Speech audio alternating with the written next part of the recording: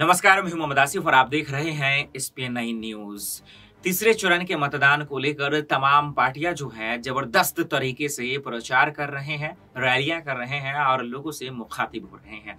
कांग्रेस के स्टार प्रचारक जालौन से इमरान प्रतापगढ़ी ने बड़ा बयान दिया है, बड़ा हमला किया है और कांग्रेस को वोट देने की अपील भी की है।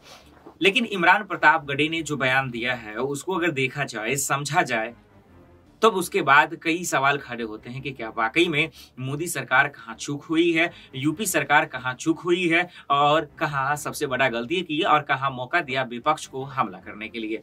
तो आइए पहले रुख करते हैं कि इमरान प्रतापगढ़ी ने जालौन से कहा क्या है, मोदी सरकार पर हमला बोला क्या है, सवाल क्या खड़े किए हैं। उन्होंने साफ़ शब्दों में कहा है कि आज मोदी सरकार देश को बेच रही है। देश को खोखला कर रही है देश को खत्म कर रही है। ये इस तरह से उन्होंने जो है बीजेपी पर हमला बोला और साथ ही यूपी में कांग्रेस को वोट देने की अपील कर रहे हैं।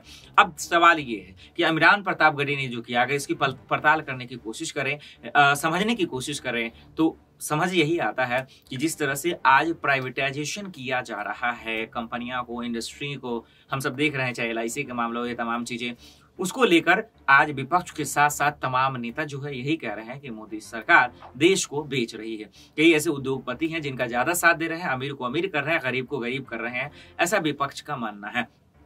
देखना यही होगा कि आखिर मोदी सरकार कह रही है कि आज देश में सब कुछ बदल रहा है, देश सही तरक्की की ओर जो है जा रहा है, लेकिन इस बीच में विपक्ष इससे जो है पूरे उलट है। अब देखना यही होगा कि क्या वाकई में यूपी चुनाव को लेकर लोग तैयारियाँ तो कर रहे हैं, वोट की अपील कर रहे हैं। देखना ये होगा कि जनता आखिर किसके विश्वास पर किसके यकीन पर खड उतर पाती है। फ़िलहाल के लिए इतना ही, बाकी खबरों के लिए देखते रहे। स्पेन आई न्यूज़, नमस्कार।